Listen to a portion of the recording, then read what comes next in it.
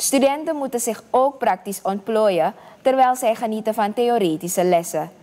Daarom wordt in opdracht van het ministerie van Onderwijs, Wetenschap en Cultuur, MINOC, op alle MULO onderwijsgestelde scholen een examenmarkt georganiseerd. We nemen een kijkje op de Noordpoolschool. Een examenmarkt in opdracht van het ministerie van Onderwijs, Wetenschap en Cultuur om studenten een beetje bewust te maken over het praktisch gedeelte van het leven. Als het dus gaat om ondernemen, planten, hoe je eigen dingen in elkaar moet zetten. Maar ook gewoon over de geschiedenis van ons land. We zijn vandaag bij MULO Noordpool 1, waar we dus praten met enkele docenten en studenten die hier aan deelnemen. De examenmarkt bestond uit verschillende elementen, zoals een restaurant, een salon, een plantenstand en een opvoeringsruimte. Studenten werden in de gelegenheid gesteld om via deze richtingen hun creativiteit aan het publiek tentoon te stellen. Docent Roxandro Di Wongso juicht deze nieuwe methode van onderwijs verzorgend toe en zegt dat deze vorm zorgt voor een overzichtelijker beeld van de interesse van de studenten.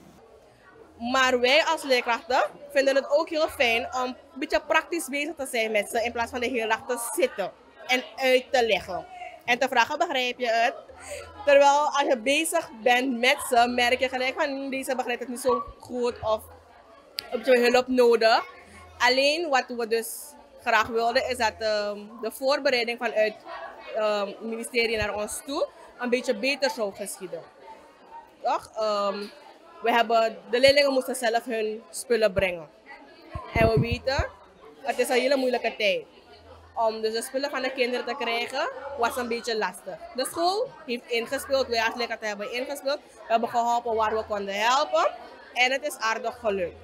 Dus als dit iets is dat jaarlijks plaats zal vinden, dat het echt een examen wordt van leerjaar 10, dan hoop ik dat vanuit het ministerie hun planning een beetje beter zal zijn om vervolgens dit alles feilloos te kunnen doen.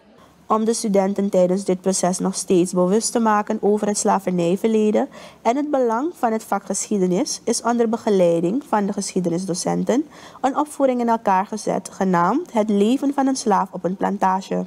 Geschiedenis mag je niet achterwege laten. Geschiedenis laat je, maakt je, houdt je wakker om te weten wat er nu gebeurt. Toch? Dus vandaar dat geschiedenis heel erg belangrijk. Het, het, is, het is gewoon, het valt in. Alle vakken zijn, zijn gekoppeld aan geschiedenis. Want je, als het om taal bijvoorbeeld gaat, zou je de geschiedenis van taal ook moeten gaan onderzoeken. Waar is het ergens begonnen? Dus geschiedenis is belangrijk. Je zou moeten weten waar iets gestart is. Mensen van vroeger zijn door heel veel, weet u? Kijk hier, als je veel naar je boeken kijkt, veel naar tv kijken, weet. Dus over geschiedenis ga je het zeker weten. Opletten wanneer de jeugd praat.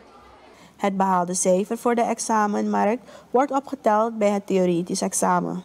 Aan de hand van het eindcijfer zal worden bepaald voor welke richting de student geschikt is.